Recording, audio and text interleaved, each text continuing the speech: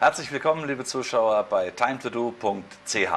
Ich hoffe, Sie sitzen entspannt in Ihrem Wohnzimmer oder wo auch immer Sie Fernseh oder Video schauen. An dieser Stelle einmal wieder einen herzlichen Gruß an alle die, die über das Internet, über unseren YouTube-Kanal weltweit zuschauen. Weil weltweit ist heute ein Thema. Die Welt ist nicht nur die Schweiz, Europa, nein, es geht viel weiter hinaus und Vielleicht haben Sie jetzt nachgeschaut, seit ich Ihnen gestern Abend gesagt habe, ob Sie den Namen Claire Labelle kennen. Eine außergewöhnliche Frau mit außergewöhnlichen Fähigkeiten und außergewöhnlichen Dingen. Und hier ist sie. Herzlich willkommen, Claire Labelle und Ihre Kollegin, die das Paraguay-Projekt leitet, Erika Klink.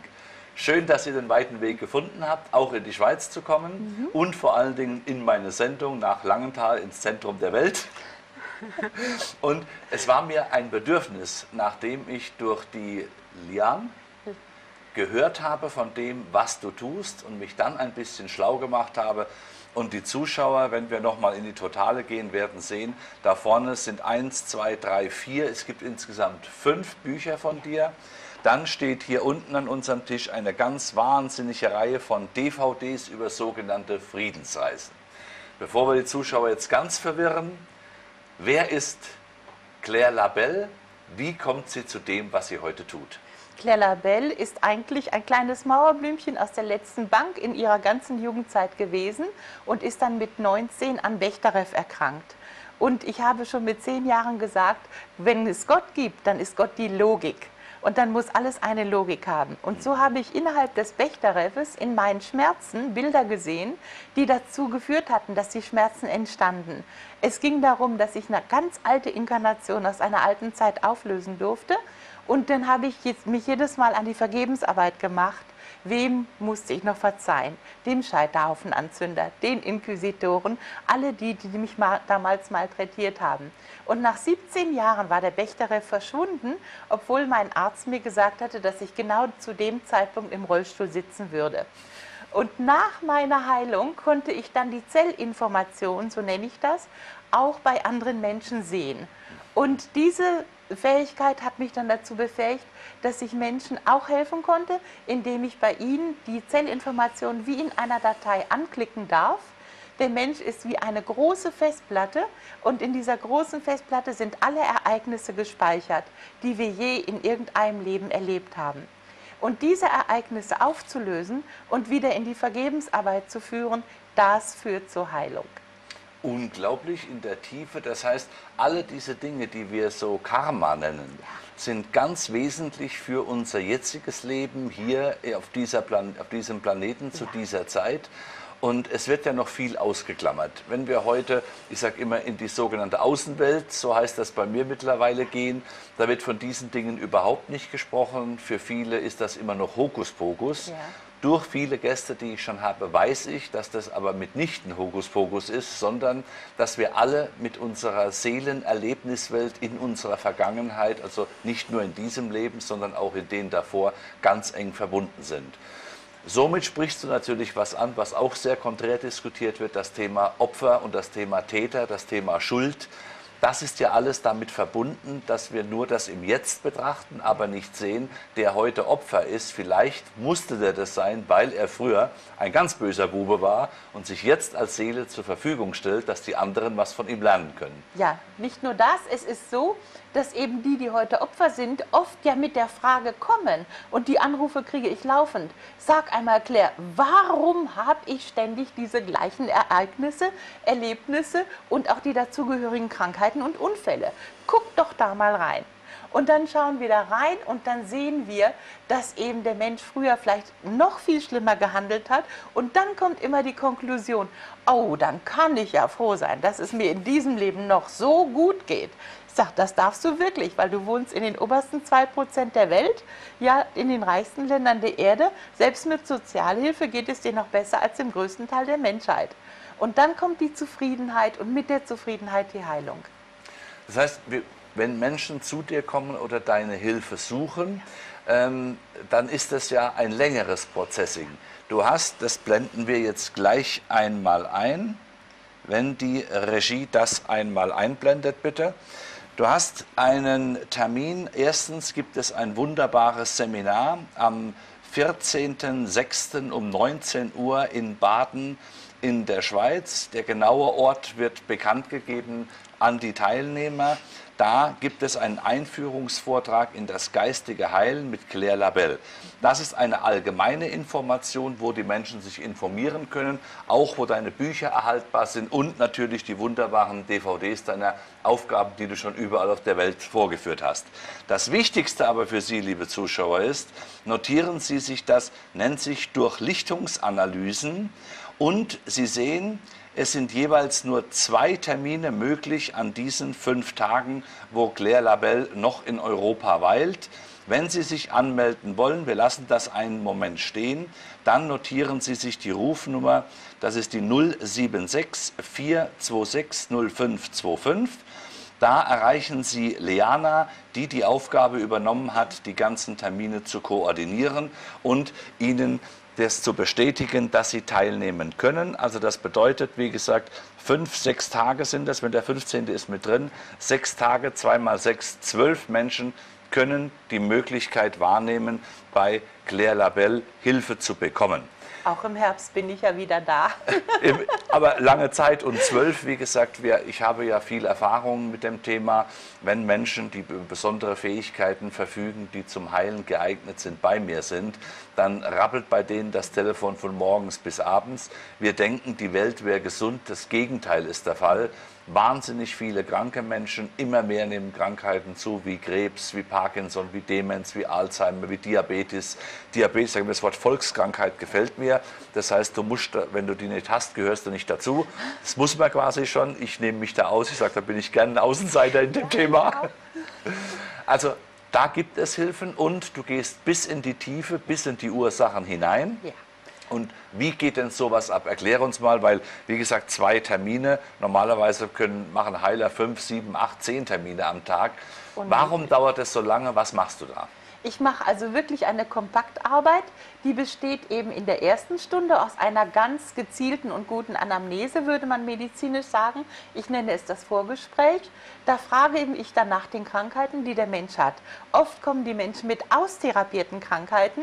Insofern stehe ich nicht zur Konkurrenz zur Medizin. Mhm. Wenn die Medizin sagt, Schluss aus, es gibt nichts mehr zu machen, wir können ihnen nur Schmerzmittel geben, dann kommen die Menschen zu mir. Und dann frage ich, wann hat es begonnen, um den sozialen Hintergrund zu haben? Hat die Person zum Beispiel einen Täter aus der alten Zeit wieder als Partner geheiratet, als Vater, als Mutter? Und wie sind die Konflikte dort? Und dann frage ich auch nach Albträumen. Und die Albträume zeigen uns, wo die Menschen vorher gelebt haben, in welchen Seelenebenen sie unter Umständen auch etwas abgelegt haben. Und diese Albträume geben mir einen guten Hinweis darauf, was vorliegen kann. Der zweite Teil ist dann die Heilstrahlung an sich. Da sitze ich dann, wie wir es gleich auf dem Foto sehen werden, mit meinen Händen am Ende des Massagetisches und hier kommt dann der Lichtstrahl heraus. Das spüren die Menschen auch, wie Wellen, die durch den Körper gehen. Und diese Wellen klicken praktisch die Datei in der Zelle an. Das Bild baut sich langsam auf und ich sehe dann den ganzen Film über das Original, also über die Ursache der Krankheit, so wie sie einstens entstanden ist, in diesem Leben oder in einer früheren Zeit. Und anschließend schreibe ich das dann alles auf, wie man das gleich auf dem Bild auch sehen wird. Und dies, das ist in einer ruhigen Zeit. Ich sage meinen Patienten, schlafen Sie ruhig, schlafen Sie gut durch und nachher setze ich mich daneben an in den Sessel und wenn Sie fertig sind mit Nachruhen, dürfen Sie dann aufstehen. Ja? Also für den Patienten gibt es da nichts zu sehen und ich beruhige ihn so, damit ich in Ruhe bei ihm Fernsehen gucken kann. Also ich brauche keine Krimis mehr, ich sehe genug Krimis der Erde. Der dritte Teil ist dann das Nachgespräch und da ich ja Lehrerin bin, ich war ja auch hier in der Schweiz mal Lehrerin, arbeite ich das didaktisch auf. Ne, ich möchte meine alten Schüler gerne noch alle grüßen, die gesagt haben, dass sie mich dann gerne mal im Fernsehen sehen würden. Und dann Haben wir jetzt auch realisiert. Danke.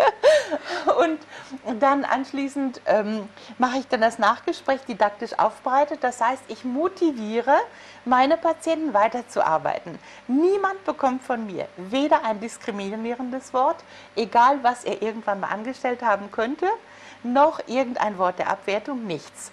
Die Motivation ist so positiv, dass der Mensch sagt, oh ja, das möchte ich loswerden. Das ist wirklich etwas, ja, das ist ja die Wurzel meines Übels. Das heißt, Selbst wenn er in seinem vorhergehenden Leben oder in einem seiner Ja. vorhergehenden Leben ein ganz böser Bube war oder Mädchen, je Ja. nachdem, Ja. dann wirst du ihm nicht die Details sagen, Nein. um nicht ihn im Prinzip in eine Schocksituation in seiner Seelenebene zu führen. Nein. Du umschreibst das so, dass er zwar erkennt, dass da irgendwas nicht so toll lief, Ja. aber dass er da frei rausgehen kann und dieses wirklich verarbeiten, annehmen und sagen, okay, das lasse ich hinter mir, das ist nun erledigt Genau. und ich will als freie Seele in dieser Welt meine Aufgabe wahrnehmen. Genau, erledigt ist es dann, wenn wir die Innenschau gemacht haben, denn in der Innenschau wird auch nicht mehr die Tat gezeigt, sondern es werden nur die Seelen gerufen. Da arbeiten dann in den Seelenebenen dann Erzengel Michael, Erzengel Raphael mit. Sie holen die Seelen ran und die Seelen unterhalten sich sichtbar für meinen Patienten. Ja? Und dadurch kann man sich wirklich voreinander dann aussprechen, miteinander die Vergebensarbeit machen, bis zu dem Punkt. Und deswegen ist die Innenschau immer unberechenbar lang. Darum habe ich auch nur zwei Termine, weil ich brauche Pufferzone. Ne, manche Innenschauen gehen länger und wenn ich schon ahne, dass sie lang gehen, lege ich sie auf den Abendtermin. Es gab schon Innenschauen bis morgens halb fünf.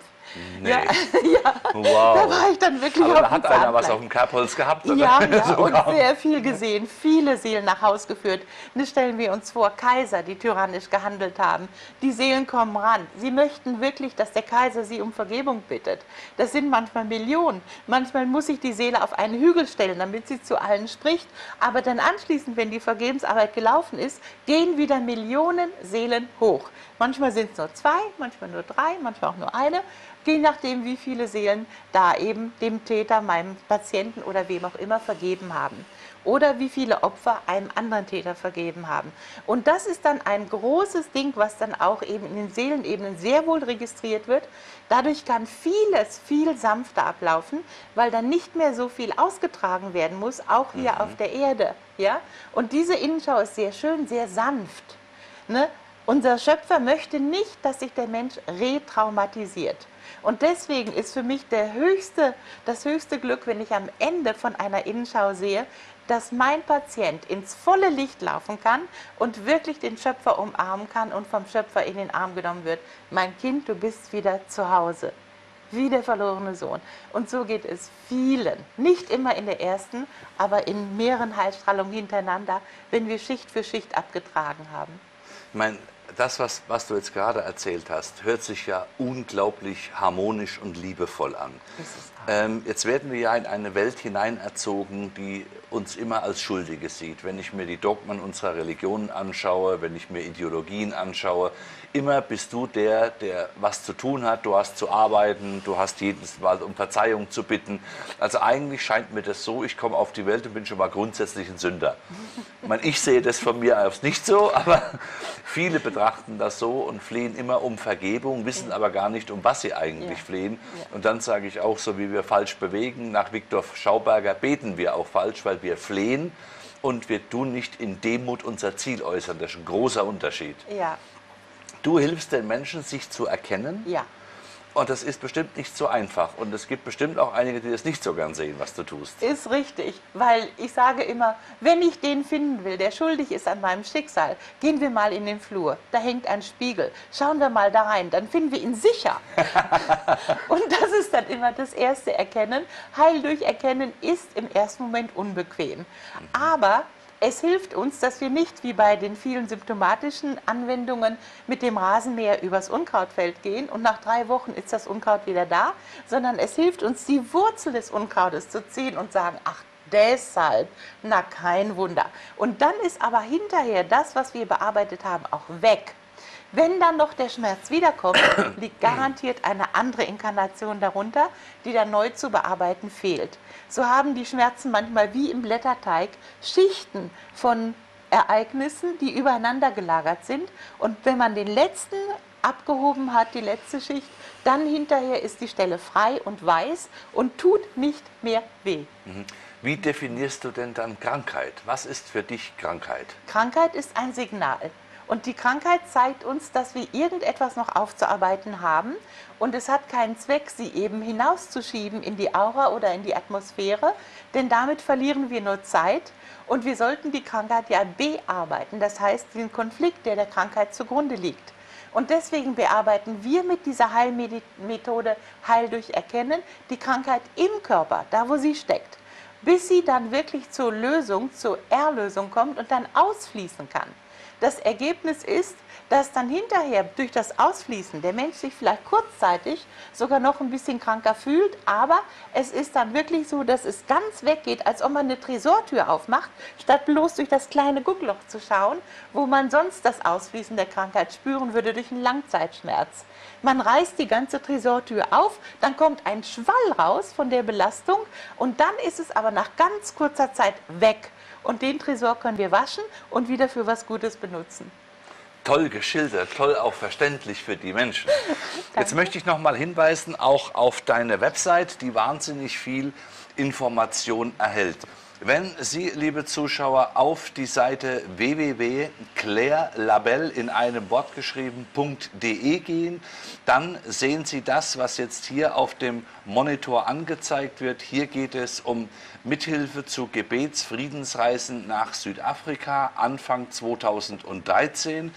Dann schauen wir mal hier hinein zum Thema Heilungsbeschreibung. Da ist eine Kurzbiografie drin von Claire Labelle dann schauen wir mal, ob wir auch ein paar Fotos finden, wo sie arbeitet. Stehen die auch auf deiner Website? Nein, die sind auf dem Stick. Ah, hier haben wir heilende Hände, durch ja. List, Durchleuchtungs... Da, es, da ja. haben wir es. Genau, so arbeite ich. Da mhm. sehen wir jetzt so ein Foto.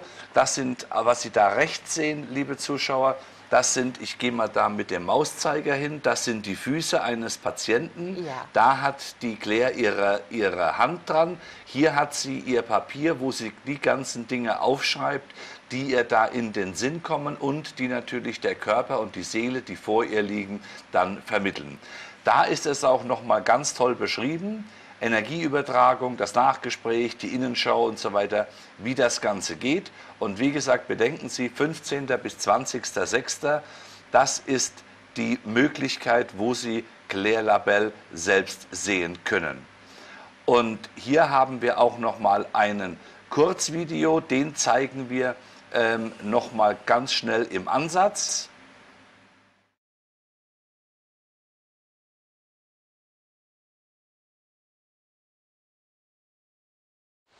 Mein Name ist Claire Labelle und ich möchte Ihnen jetzt und in der folgenden Serie von unseren kleinen Filmen, die wir machen werden, immer wieder von einem Thema erzählen, was ich mit Ihnen behandeln möchte. Es sind kurze, interessante Filme mit kleinen, kurzen Geschichten, die Ihnen das Leben auf der Erde, den Sinn des Lebens auf der Erde und das Leben in den anderen Seelenreichen ein bisschen nahe bringen sollen. Haben Sie viel Spaß dabei. Heute möchte ich Ihnen von den Wunderheilungen erzählen. Auch Wunderheilungen unterliegen gewissen Gottesgesetzen, die einfach nicht zu umgehen sind. Bestimmt haben Sie schon gehört, dass Menschen manchmal von anderen Menschen wieder herauskommen, die ihnen Heilkraft eingeströmt haben und die Heilkraft hilft. Eine kurze Zeit ist der Mensch schmerzfrei und die Sachen heilen auch scheinbar ganz gut. Und sie können auch heilen, wenn folgende Bedingungen erfüllt sind. Jede Krankheit hat ihre Austragungszeit.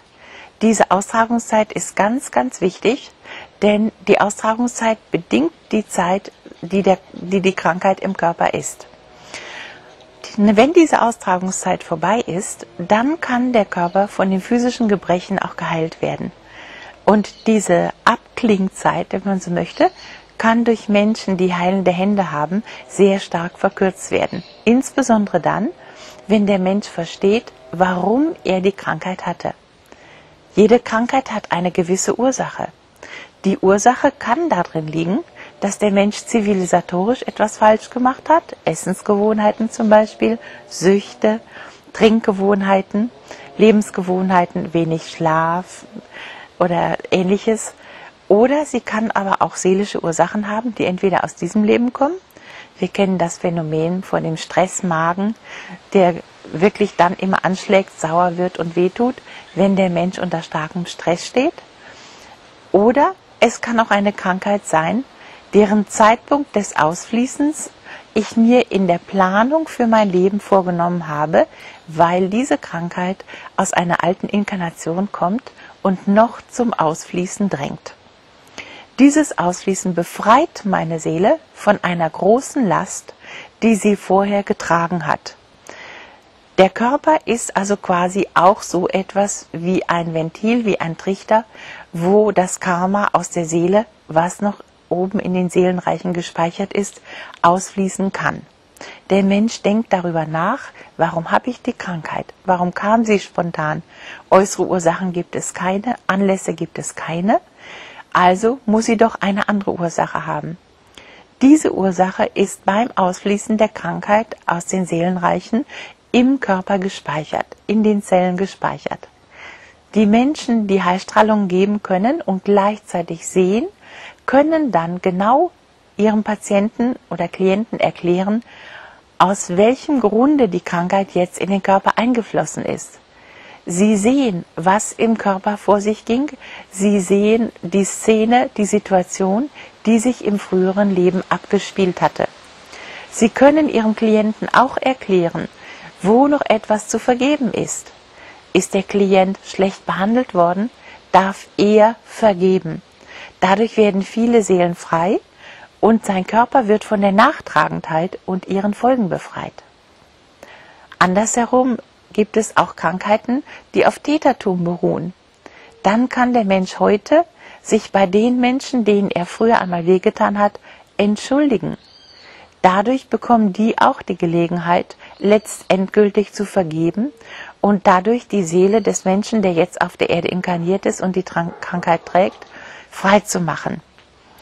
Dieses Freimachen der Seele ist letztendlich das, was wir Erlösung nennen. Die Lösung des karmischen und der karmischen Gebundenheiten aus unserem Körper und aus unserer Seele. Wenn diese Krankheiten sich lösen und dann auch ganz verschwinden können, weil der Mensch verstanden hat, warum er die Krankheit hat, so kann der Mensch anschließend auch wirklich gesunden und die Ärzte sprechen von Spontanheilungen, wir sprechen von Christusheilungen oder manche sagen auch Wunderheilungen. Die Wunderheilungen beruhen auf diesem Gesetz. Der Mensch hat verstanden, warum er die Krankheit hat. Er kann die Krankheit lösen. Er löst sie mental. Und in dem Moment, wo sie mental gelöst ist, kann sie auch durch die Gnade unseres großen Vaters aus dem Körper verschwinden. So entstehen die Wunderheilungen. Will der Mensch sich aber nicht ändern und behält er seine Gewohnheiten bei, behält er seine Charakterzüge bei wie Nachtragendheit oder Groll, so kommen die Krankheiten nach einer gewissen Zeit natürlich wieder. Denn die Krankheit ist gleichzeitig auch ein Seismograph. Ein Seismograph bedeutet, dass sie immer dann anzeigt. So, liebe Zuschauer, wir blenden uns da einmal aus, dass sie natürlich Claudia Labelle in live erleben können mhm. auf ihrer Website unter www.claire, jetzt habe ich wieder Claudia gesagt, ja. ne? Claudia, du bist doch die Claire. Genau. clairelabelle.de. Viele, viele Informationen. Ihre Termine sind drauf von Ihren Seminaren und natürlich auch von den Zeiten, an denen sie Ihnen, wenn Sie Hilfe suchen, zur Verfügung steht. Ich möchte noch mal speziell darauf kommen, vor uns auf dem Tisch wird die Regie auch noch mal einblenden stehen, eine Reihe ganz interessanter Bücher. Schildere uns doch einmal kurz, wir blenden die auch noch mal über, das, über den Monitor ein, was du für Bücher geschrieben hast mhm. und was der Zuschauer da erwarten kann. Das erste Buch ist praktisch ein Nachschlagewerk, Heilung von der Seele her. Dort bespreche ich die Themen, die in zigtausenden von Heilstrahlungen immer wieder in denselben Organen oder Gelenken zu sehen waren. Und diese Themen habe ich jetzt aufgenommen, praktisch äh, vom C bis zur Haarspitze. Ne, welche generellen Themen trägt welches Organ? Niere links, zum Beispiel Partnerschaft. Ne, die Bauchspeicheldrüse, die Anerkennung, die man im Leben bekommt oder nicht bekommt, wo heraus die Diabetes entsteht ne, Gehirntumore, uralte Unbarmherzigkeiten in irgendeiner Zeit, wo man selber Befehlsgeber für Kriege war und ähnliche Sachen. Das kann man dort nachschlagen. Und ich habe eben schon sehr viele Therapeuten gesehen, die immer wieder auch mal nachgucken, was kann ich jetzt meinen Patienten so als kleinen Hinweis mitgeben. Gucken Sie doch mal, Ihr Knie tut weh. Hätten Sie Lust, irgendjemanden aus Ihrer Familie und Ihrem Umfeld zu kicken? Ja, ist das denn die seelische Ursache dafür? Und so kann man manchmal mit einem ganz leichten Stupfer, selbst wenn der Patient keine Antwort gibt, das Nachdenken anregen, damit der Patient dann auf die Ursache seiner Krankheiten kommt. Das zweite Buch ist dann über die Heilung von der Seele her. Genau. Ne? Das zweite Buch ist dann über die Chronologie des Lebens, die sieben mal sieben Jahre und ihre Lernstufen und wie wir Alterskrankheiten vermeiden können oder was wir tun können, um Alterskrankheiten dann eben äh, wirklich jetzt äh, wieder zu überwinden. Es geht dann um den Lebensfilm um die Neuplanung und um die Relation zwischen dem, was wir in dem Leben nicht gemacht haben, wie sich das dann nachher wieder in den Kinderkrankheiten niederschlägt. Das heißt, was wir in einem Leben nicht bearbeitet haben von alten Karmas, kommt dann in den Kinderkrankheiten wieder. Alterslungenentzündung, neugeborene Lungenentzündung, Altersdiabetes, Jugenddiabetes. Und die Korrelation wird dort beschrieben. Und im dritten Buch haben wir die seelischen Krankheiten, alles was Phobien, Ängste sind, auch Ganzkörperkrankheiten und Behinderungen. Wie heißt das? Über allem steht die Liebe? Ja, genau. Mhm. Ne? Dieses Buch ist das, weil vieles ja dann in Liebe dann noch wieder aufgehoben wird, wo man sagen könnte, hier auf der Erde, das kann man nicht verzeihen. Und es wird auch erklärt, wie die Seelen, die nicht inkarniert sind, mit uns Menschen auf der Erde in Kontakt stehen, sodass vieles, was heute in der Psychiatrie unter Schizophrenie oder Psychose bezeichnet und eingeliefert wird, dann jetzt hinterher eigentlich ganz leicht gelöst werden kann, wenn man mit den Seelen redet, weil die wollen ja was von einem. Die haben ein Anliegen. Und wenn ich die Seelen und die Menschen zusammenbringe, die da im Haus rumknacken oder die an einem hängen und Unfälle verursachen oder einen stolpern lassen, dann hinterher, dann merke ich dann auch, aha, jetzt ist gut und jetzt ist die Seele verschwunden, sie hat ihre Genugtuung bekommen und kann jetzt ab ins Licht. Und so heilen wir dann auch diese Art von Krankheiten, die aufgrund dieser Korrelation entstehen. Also die Ursachen sind wahnsinnig vielfältig, was ich da höre und immer wieder, immer wieder, ich habe mich ja mit vielen Thematiken beschäftigt, neue germanische Medizin sagt ja auch letztendlich, es gibt keine körperlichen Krankheiten, es gibt Krankheiten von Geist und Seele, die irgendwann vom Körper reflektiert werden. Richtig. Und du bestätigst das einfach und du gehst sogar noch einen Schritt weiter und sagst, nicht nur hier die geistige Thematik, sondern aus unserem ganzen vorangegangenen Leben, Inkarnationen, wie auch immer, tragen wir vieles mit, nur wenn wir es, wenn wir es anschauen und nur wenn wir dabei bereit sind, daran zu arbeiten. Dann lösen wir es auf und dann können wir auch von unserer Krankheit befreit werden. Dann gibt es noch ein viertes, eine Minute haben wir noch. Das, ähm, da geht es um Seelenebenen. Genau, das ist eben, was uns erwartet, wenn wir nach diesem Leben rübergehen. So habe ich die Seelenebene von der tiefsten Höllenebene Grad 1, wo also die Schwerenöter sitzen, Sadisten und alles, bis zur goldenen Stadt beschrieben zum Teil über eigene Erlebnisse, die ich natürlich nicht aus den Höllenebenen kenne, aber aus den höheren Ebenen und eben auch über Erlebnisse von meinen Patienten und eben auch Zitate aus verschiedenen Büchern, die mir dann aber vom Schöpfer gezeigt wurden, dass sie genau die Thematik treffen. Es ist ein schönes äh, Buch, wo man eben so gut Nachtgeschichten lesen kann und wo man einen Fortschritt merkt, bis man dann sich selber auch entwickeln kann bis zur goldenen Stadt, bis da, wo unser Schöpfer uns wieder zu Hause hat wunderbar eine tolle Zusammenfassung über interessante Bücher, die viele Informationen uns geben, die uns vielleicht Fragen beantworten, die uns schon immer beschäftigt haben. Und die Menschen, die anfangen zu fragen, die plötzlich morgens aufwachen und einen seltsamen Traum hatten, Menschen, die plötzlich anfangen, Déjà-vus zu haben, das sind alle die, wo dran gerüttelt wird, wo einer von außen sagt, hey mein Freund, aufwachen. Nehmen Sie das an, informieren Sie sich über diese Dinge. Solche Bücher sind wichtig zu lesen, denn da nehmen Sie ein unschätzbares Wissen mit von Menschen, die einen anderen Weg gegangen sind, um uns Lehrer zu sein, um uns Helfer zu sein, dass wir unseren Weg gehen können. Bei mir heute zu Gast Claire Labelle und Erika Klink, die bisher noch gar nicht viel zu Worte kam, denn alles war so faszinierend, aber jetzt ist ihre Zeit gekommen. Erika, ja. schön wie gesagt, dass du da bist. Paraguay ist ja. ein weiter Weg. Wie seid ihr beiden denn zusammengekommen? Wie habt ihr euch denn überhaupt kennengelernt? Ich habe die Claire durch meine Schwester über einen Vortrag kennengelernt.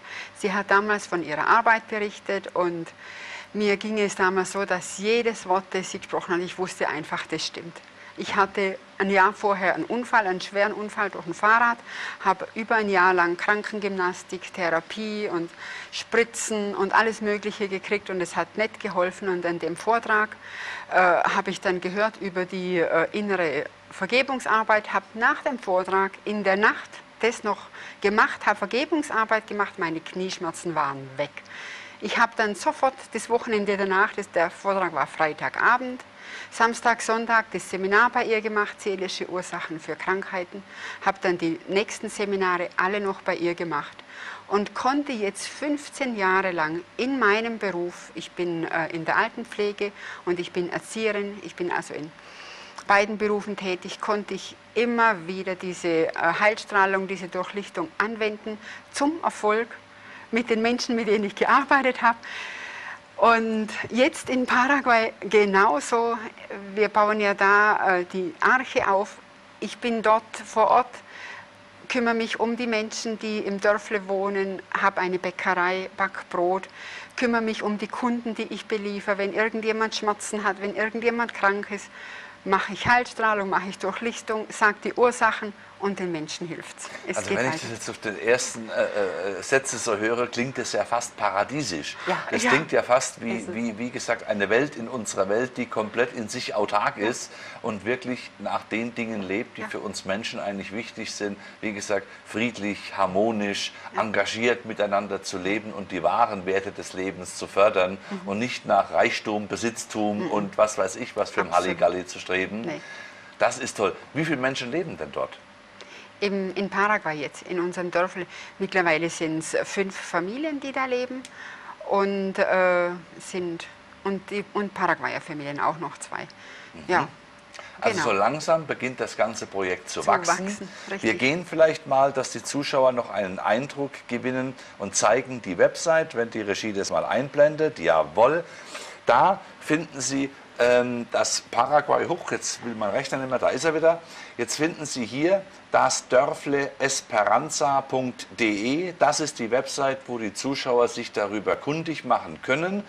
Sie sehen da unten einen Film, der ist 33 Minuten, den zeigen wir aber nicht, das würde die Sendezeit sprengen. Wir zeigen Ihnen gleich noch einen anderen Ausschnitt. Hier sehen Sie immer auf der Seite das Saatkorn zieht immer weitere Kreise, den Grundstücksplan, Paraguay überhaupt, betreutes Wohnen, kommen wir auch noch einmal drauf gleich, ganzheitliche Klinik, Menschen mit Impuls zum Auswandern, was sie alles machen müssen, wenn sie ihrem Land, wo sie leben, den Rücken kehren wollen und natürlich die Hintergründe. Wie gesagt, eine sehr informativ und vielfältig gestaltete Website. Und dann wollen wir noch einmal die Erika fragen, ist es problematisch, wenn man jetzt aus Deutschland, aus der Schweiz oder aus Österreich oder von woanders sagt, Mensch, ich möchte da nach Paraguay gehen. Was wären denn die Dinge, die du dir wünschst, dass die Menschen mitbringen, um dieses ganze Esperanza, sage ich mal, nach vorne zu treiben?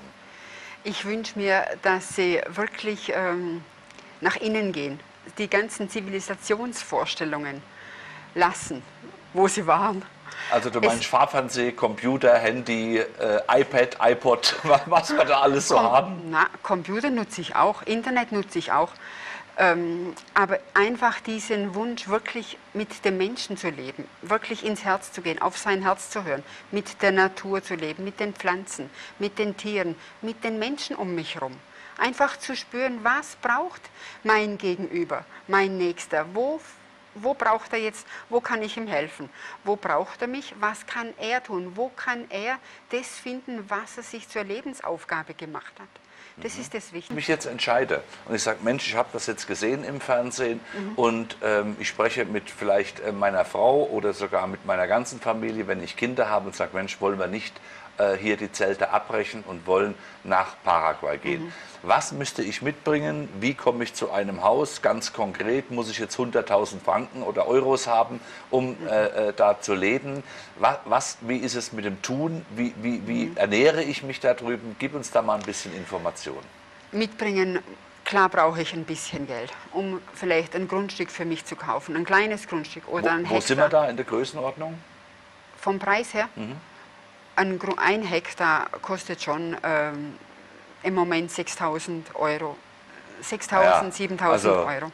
Da lachen sich die Schweizer jetzt tot, ich höre es bis hierher. Ein Hektar für 6000 Euro, das sind Ja. ungefähr Bauland. 7.500 Es Franken. Da kriegst du hier wahrscheinlich gerade eine Toilette drauf errichten. Mehr Platz wird da nicht sein. Aber auf dem Hektar, da hat man für eine Familie genug Grund, um seine Familie ernähren zu können, um alles anzubauen, was ich fürs tägliche Leben brauche. Angefangen von den Früchten, übers Gemüse, über äh, Hühner, die ich halten will, vielleicht eine Milchkuh, die ich haben will. Es reicht.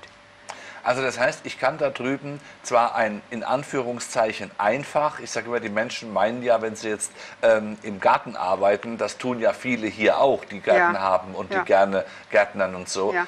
Da drüben ist das aber nicht als Hobby, da ist es einfach der Lebensinhalt, um Es ist- einfach Nahrung genau. zu erzeugen. Genau. Dann muss man natürlich sehen, die Natur da drüben gibt viel mehr her, weil natürlich das Klima ganz anders ist. ist- Und ich kenne diese unglaublichen Blüten und Früchten, die in einer ganz anderen Dimension ist- sind, wie wir uns das Ja. vorstellen. Und ich glaube, bis auf wenige Ausnahmen haben wir auch noch einen Vorteil. Böden und Natur sind noch nicht so mit Umweltgiften belastet, wie das heute hier in Europa der Fall ist. Genau. Wir haben einzelne Ausnahmen. Es gibt einen See, den hat die Industrie gekillt, also ist mittlerweile totes Ja. Wasser. Aber auch da gäbe es Lösungen, den wieder zum Leben zu erwecken. Richtig. Das wäre das Erste. Gibt es Problem, Probleme mit dem Aufenthalt? Kriege ich ohne Probleme eine Daueraufenthaltsgenehmigung? Es gibt kein Problem damit. Ich brauche im Grunde die, Heirat, äh, die Geburtsurkunde, wenn ich verheiratet bin, die Heiratsurkunde. Ich brauche ein polizeiliches Führungszeugnis und ich muss ein Konto nachweisen. Im Moment ist der Stand bei 5000 ähm, Euro? Dollar. Dollar. Ah, Ne, Dollar. das sind ja weniger als 5000 Ja. Franken. Der Dollar Ja. ist ja bloß noch 98 Ja. Rappen oder was? Das, äh, und äh, dann äh, die Daueraufenthaltsgenehmigung kostet nochmal 1000 Euro natürlich. Den Flug dahin 1000 Euro, so im Schnitt. Und dann äh, für ein Häuschen, ich kriege wirklich für 10.000 Euro, sage ich mal, ein schönes Häuschen. Also wenn ich das jetzt nochmal im Kopf, ich bin dann ganz schneller im Kopf, zusammenrechne, Ja. dann habe ich roundabout ähm, 10.000, äh, ich sage einfach mal Euro, dann, dass, dass die Leute Ja. das so verstehen, 10.000 Euro für Grundstück zu kaufen, für Ja. die Genehmigungen zu machen Ja. und wie gesagt für meine Daueraufenthaltsgenehmigung, also diese ganzen Randgeschichten mit Flugticket, weitere 10.000 Euro für ein Häuschen auf Mhm. das Grundstück zu stellen und schon kann ich mit meiner Familie, jetzt sage ich mal, also wer mit 20, 25.000 Euro Haus, Grundstück, Aufenthaltsgenehmigung, Flugtickets und alles und dann ist es ja so, meine, heute, wenn man allein in einem Haus lebt und seinen Hausstand veräußert, hat man das Geld schon. Weil Ja. es ist ja irre, wir haben ja ganz andere Verhältnisse vom Geld. Ja. Also das ist ein wirkliches Neustartland, aber wie gesagt, das möchte ich den Menschen da sagen, nicht euphorisch werden und nicht in, in Dinge gehen, wo man ähm, ein Land sieht, wo Milch und Honig fließt. Arbeit ist in dem Leben etwas Natürliches. Der Mensch ist nicht gemacht, um den ganzen Tag Fernsehen zu schauen oder zum Fenster hinauszuschauen. Nein, eine sinnvolle Beschäftigung in Einklang mit der Natur, im Einklang mit der Umwelt und den anderen Menschen. Natürlich ist so ein Dörfli, wenn man die alten Sinn und Zwecke von Gemeinschaften sieht, darauf aufgebaut, dass nicht jeder allein auf seinem Acker rumwurschtelt, sondern dass man in Gemeinschaft etwas tut. Genau. Und die Böden sind vielleicht da besser und die anderen sind da besser. Dann kann man sich überlegen, ob man eventuell Baumsetzlinge, Äpfelbaum, Eben. Birnbaum, alle diese Dinge mitnimmt. Kartoffelpflanzen, Samen von Moringa-Bäumen. Sie haben viel gehört in meiner Sendung über tolle Pflanzen, die man da drüben anpflanzen kann. Tees herzustellen, ein wunderbares Land, aber etwas Engagement. Und tägliche Arbeit gehört dazu. Nur einen Vorteil haben Sie. Es steht niemand hinter Ihnen, der Ihnen sagt, wann Sie was zu tun haben, wann Sie aufzustehen haben und nach wem Sie sich zu richten haben. Es gibt ganz wenige staatliche Regularien, Krankenversicherungen und sowas. Gibt es das überhaupt? Gibt es aber freiwillig.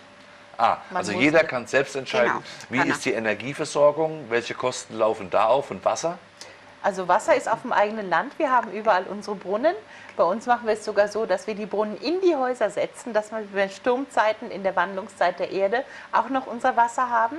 Ein Zentralbrunnen mit Wasserturm. Jetzt kommt noch ein zweiter Zentralbrunnen, so wir Sponsoren finden, um noch einen zweiten Wasserturm zu bauen, in dem auch unten ein Whirlpool sein soll, wo man sich dann auch im Winter mal ein bisschen schön baden kann.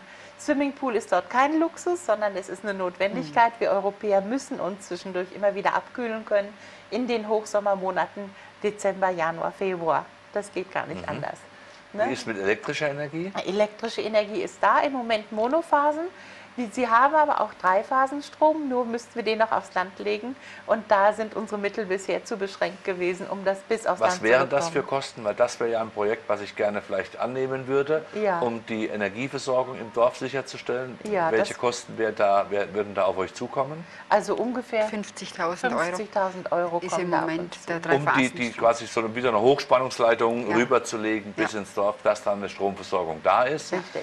Natürlich wäre es auch ideal, wenn wir einen Sponsor finden, der mit Solarzellen und den entsprechenden Genau. Anlagen vielleicht ein bisschen und Windanlage, da gibt es ja. Ja. ganz tolle, wir Ja. brauchen keine Propeller, da gibt es diese Dinger, die sich so drehen wie ein Fass sehen die aus, die viel, viel effektiver sind. Aha. Also es gibt da einiges zu tun. Im, nach der Sendung Genau. werden wir noch ein paar Dinge aufschreiben, die wir dann veröffentlichen, um das zu unterstützen.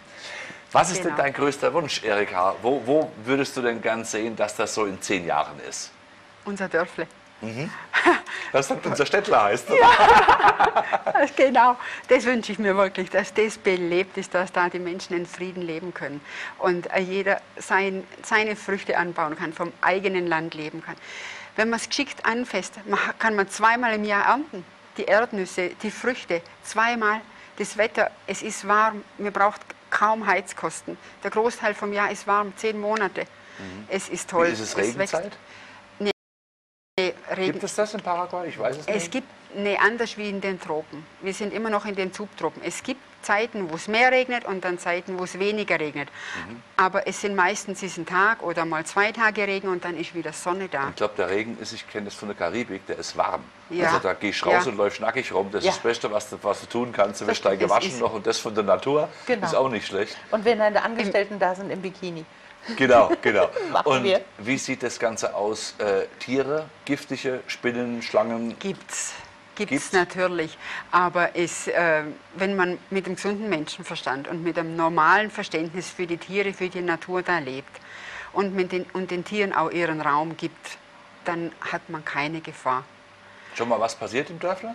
Nee, bis jetzt noch nicht. Noch wunderbar, wunderbar. Weil das sind ja immer so Sachen, wo der Ja. Europäer denkt, oh, das ist alles ja, giftig ja, und so weiter. Genau, Spinnen und Schlangen und alles, aber Die fliehen, wenn die den Fußstapfen hören. genau. Ja, ja, so kenne ich das auch. Ja. Ich war in Arizona Ja. und da hat es ja unheimlich viele Klapperschlangen. Aber sobald du fest auf den Boden trittst, sind die sofort weg. Die Ja. Erschütterung mögen Ja, die ja. gar nicht. Nee.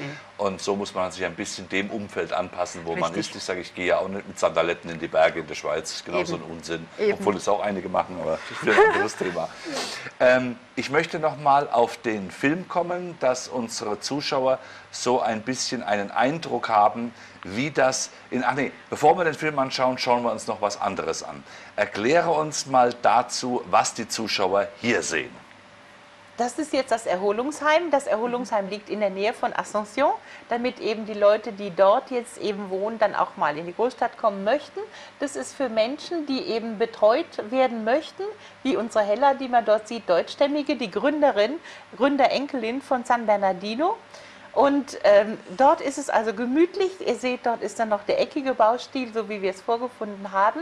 Das Schwimmbad, in dem wir uns dann auch im Sommer dann sehr gut erholen können. Gegessen wird draußen, reingegangen wird eigentlich nur zum Schlafen.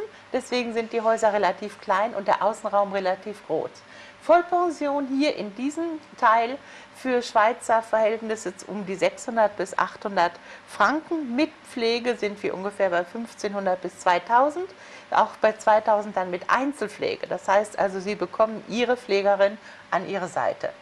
Ne, auch für Familien. Und Ja. dann soll noch größer werden. Es darf dann noch ein Pflegeheim gebaut werden. Es ist ein Grundstück nebenan, was wir dafür nutzen wollen. Und dann können Menschen aus der Schweiz, aus Deutschland, aus Österreich den Lebensabend bei uns verbringen. Wie viele Menschen leben derzeit dort? Im Moment sind es sechs bis acht mit den Anmeldungen, die jetzt noch offen sind. Und äh, die Wie viel könntet ihr aufnehmen? Wenn wir jetzt noch das Pflegeheim bauen, denke ich, können es 40 bis 50 werden. Im Moment ist unsere Kapazität ungefähr bei zwölf Leuten im Doppelzimmer. Also, das bedeutet, es könnten sich auch noch weitere vier, fünf, sechs melden, Ja. die sich dort engagieren wollen. Ja. Und auch da, liebe Zuschauer, wir wissen ja, wir leben auf dem sogenannten vermögenden Teil. Das heißt nicht unbedingt, dass wir es verdient haben hier. Nein, wir haben das Geld einfach, um uns heute sogar Pflegeheime leisten zu können, die 6.000 bis 10.000 Franken im Monat kosten. Die Frage ist, ist das sinnvoll, ihr Geld auszugeben in einem System, was durch Abgaben so viel Geld in andere Kanäle führt, das ihnen nicht selbst zugutekommt. Wenn Sie sich das anschauen, in einem Land zu leben, wo sehr, sehr schönes Wetter ist und wo Sie Menschen um sich herum haben, die Sie pflegen, die das aus dem Herzen tun, dann wäre doch die Frage, ob Sie vielleicht wirklich diese 2000 Franken aufwenden für eine wunderbare Pflege und den Rest, wenn er Ihnen zur Verfügung steht, einbringen in ein Projekt, dass zum Beispiel ein neues Pflegezentrum dort angebaut werden kann. Weil lassen Sie noch einmal die Bilder auf sich wirken, wie unglaublich schön das ist und wie harmonisch das ist.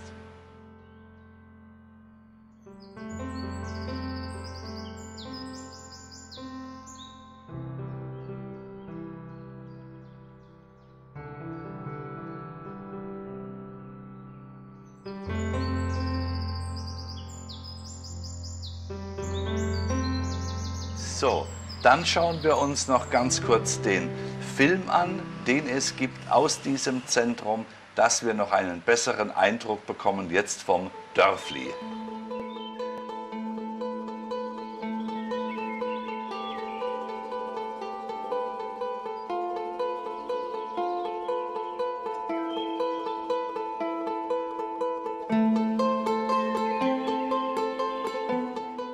2005 hörten wir immer den, wieder den Ruf, Kinder, jetzt kommt. Seit 1991 hatte ich bereits vom Vater immer wieder erfahren, Kind, halte immer so viel Geld bereit, dass du ein Flugticket nach Buenos Aires kaufen kannst. Von dort aus gehe flussaufwärts. Und dort, wo der Fluss sich teilt, ist das Tal des Friedens. 2005 kam dieser Ruf konkret. Jetzt geht. Wir sind dann auch wirklich losgefahren und haben uns erstmal vorher auf der Karte angeschaut, wo wir denn überhaupt hin müssen. Von Buenos Aires auf der Landkarte mit dem Finger flussaufwärts. Dann trafen wir an den Rio Paraguay und den Rio Paraná. Und die Spitze von Rio Paraguay und Rio Paraná, wenn man die auf der Landkarte betrachtet, sieht wirklich aus wie eine Arche. Aha, da unten lag Asunción, also war das der Zielflughafen. Wir flogen einfach los, vor genau sechs Jahren. Und wir ließen uns dann wirklich vom Vater führen. Wir hatten eine gebuchte Reise gemacht, die uns dann alles zeigen sollte, was zu zeigen war. Diese Reise wurde vom Vater auch abgesegnet.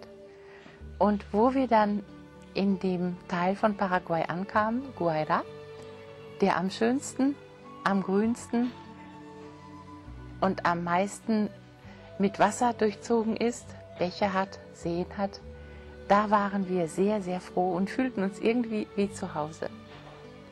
Unser Führer, der uns dann verschiedene Sachen zeigte, hatte uns genau angeschaut und zeigte uns ein Land. Und auf diesem Land standen wir unter dem riesigen Mangobaum und es kam ein Lichtstrahl vom Himmel runter in einer Stärke, dass wir beide durch und durch glühten. Und wir wussten, das ist das richtige Land. Es war auch das erste, was er uns gezeigt hatte. In der Folge haben wir noch andere Grundstücke und andere Ländereien besucht, aber auf nicht einem war dieselbe Antwort wie auf unserem Land. So legten wir zusammen, was noch zusammenzulegen war, und erwarben es dann Stück für Stück erst einmal mit all den wenigen kleinen Mitteln, die uns zur Verfügung standen. Und dann bald fingen wir dann an, auf dem Land anzubauen, auf dem Land aufzubauen. Eine von uns blieb hier, leitete den Aufbau, leitete den Aufbau der Backstube. Sie leitete ebenfalls so ein wenig die Bauleitung auf dem Land, besprach mit den Bauherren, was zu tun ist.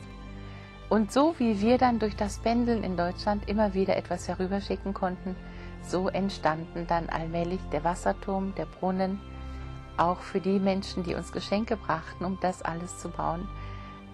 Äh, denen danken wir jetzt heute nochmal ganz herzlich.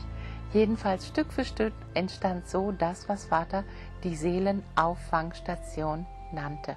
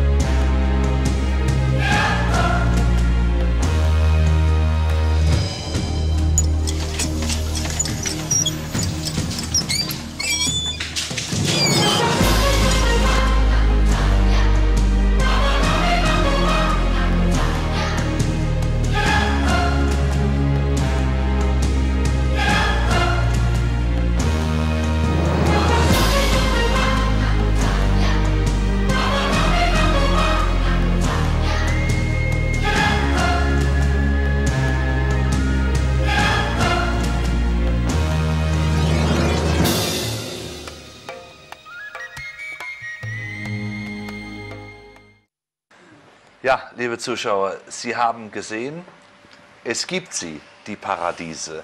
Wir müssen nur anfangen hinzuschauen. Wir müssen nur uns entscheiden, wollen wir in einem sogenannten System der falschen Sicherheiten leben oder wollen wir wieder ein Leben leben, was menschlich ist, was harmonisch ist und was unsere Herzensgüte fördert. Die ganzen Dinge, die Sie jetzt gesehen haben, sind von Menschen geschaffen, für Menschen geschaffen. Und darum geht es in dem Grundprinzip unseres Seins eigentlich. Nur haben wir uns ein bisschen davon entfernt. Aber jederzeit ist die richtige Zeit, wieder den Weg zurückzumachen. Und für alle die, die den Mut haben und den inneren Ruf verspüren, diese Seite der Welt zu verlassen und alles das, was sie hier gelernt haben, was sie hier machen können, mit einzubringen in dieses Dörfli Esperanza die sind jetzt aufgerufen zu handeln. Sie haben die Kontaktadresse auf der Webseite, auch über die Kontaktadresse, die wir genannt haben, von Deliana. Dort können Sie sich gerne kurz vorinformieren, dass es Ihnen sagt, wohin Sie sich wenden müssen. Und wenn Sie gar nicht weiter wissen, wissen Sie ja, wir sind da, melden Sie sich bei Time to Do. Wir helfen Ihnen dann schon auf die Sprünge. Nochmal zusammenzufassend, also es ging darum, ähm, eben hatte ich während der Film lief eine Frage gestellt, braucht ihr Maschinen? Dann hast du was Interessantes geantwortet. Wir benutzen keine Maschinen auf dem Land, denn die Dieselabgase verursachen, dass die ganzen Pflanzen voller Läuse sitzen. Deswegen ist es uns mehr gedient, wenn vielleicht auch ein zweites Paar Ochsen zu uns kommen kann und eben Flüge, die dann unsere eingeborenen Familien sehr gut eben führen können. Und die Pflanzen wachsen alle viel besser und viel schöner, wenn sie dann eben natürlich gepflügt und auch natürlich gedüngt werden. Also das heißt, das Dorf mhm. steht schon bereit für die neue Art von Technologie, wie freie Energiemaschinen, Magnetgeneratoren, also Elektrogeräte benutzt ihr auch. Ihr benutzt ja. nur nichts, was Abgase erzeugt, also äh, Dieselaggregate, Traktoren, all diese Dinge. Wie ist es denn mit dem Autofahren? Gut, das muss sein, aber das Auto bleibt oben an der Türe stehen, an der Pforte, Eingang zum Land und eben von dort aus geht es dann weiter mit dem Ochsenkarren. Das ist ja mal eine irre Nummer. Das heißt, ich darf mit dem Jeep gerne kommen, aber nur bis zum Tor und dann per Pedes weiter dort. Ja. nee. Im Notfall kann man den natürlich auch benutzen, aber nicht, die nicht als Regel, weil das ist ja, nee, nee, es gibt ja auch andere. Fortbewegungsmittel. Also Pferde könnte ich mir gut vorstellen ja, oder Fahrräder oder ja. wie gesagt Mountainbikes kannst du ja quer durch den Dschungel fahren, wenn es sein muss. Genau. Also diese Dinge sind, das heißt, man geht wieder zurück zur Natur. Genau. Ich sage immer, und das kann schön sein. Viele haben vielleicht zu denken, oh Gott, zurück in die Steinzeit. Dann sage ich, nee, nee, sag mir so doch mal, was von eurer modernen Welt so toll ist, wenn du in einer Stadt stehst, der Gestank, der Radau, ja. der Lärm, die gehetzten Menschen und so weiter. Schön ist doch ganz anders. Ja, und das muss man halt verstehen. Es ist wie zu Abrahams Zeiten. Jeder hat seinen Brunnen, seine Tiere, keine große Technik, aber es wird alles gemacht. Wir haben so viele Jahre ohne die, den Strom leben können. Warum sollen wir es nicht wieder können? Eine ganz, ganz tolle Präsentation. Also in der Sendung zwei halbe Stunden mit unglaublich vielen tollen Informationen. Ja. Danke an dich, Erika Kling, für dein Engagement da auch in, in Paraguay ja. und für alles das. Und ganz, ganz großen Dank an dich, Claire Labelle, mit dem, was du für die Menschen tust und was die Menschen lernen können, sich selbst zu finden und wieder aus ihren Dilemmas herauszukommen. Und wie gesagt, liebe Zuschauer, Sie wissen es, Sie kennen die Sendung und wissen, dass im Hintergrund immer wieder es so läuft, Tun Sie sich informieren, hören Sie auf Ihr Herz, was Ihnen die ganze Zeit sagen will. Informieren Sie sich über die Telefonnummern, über die Websites, was Sie machen können und denken Sie daran, die sechs Tage von 15. bis 20.06. Die sind natürlich ausgebucht schon, wenn Sie sich nicht rechtzeitig melden, ähm, denn nur sechs Behandlungen, äh, nur sechs Tage und jeweils zwei Behandlungen am Tag, das ist natürlich sehr wenig, ich weiß das, aber es wird die richtigen Menschen hinführen und Claire hat uns ja gesagt, sie ist im Herbst wieder da, auch diese Termine werden wir veröffentlichen. Denken Sie daran, in den nächsten Tagen unsere Projektseite zu besuchen. Dort stellen wir die ganzen Informationen zum Dörfli Esperanza in Paraguay ein und auch die jeweiligen Informationen zu den vielen CDs, die Sie dann auch direkt über Claire Labelle beziehen können. Mir bleibt nur noch zu sagen, ich wünsche Ihnen einen schönen Abend und eine angenehme Nacht und träumen Sie davon. Es lohnt sich für Sie garantiert. Wenn Sie morgen früh aufwachen, vielleicht haben Sie die nötige Erkenntnis, das umzusetzen. In diesem Sinne.